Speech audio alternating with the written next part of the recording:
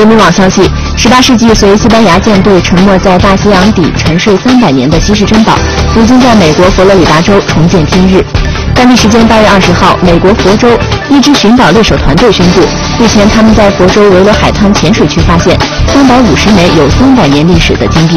总价值达四百五十万美元其中包括九枚稀有的皇家金币。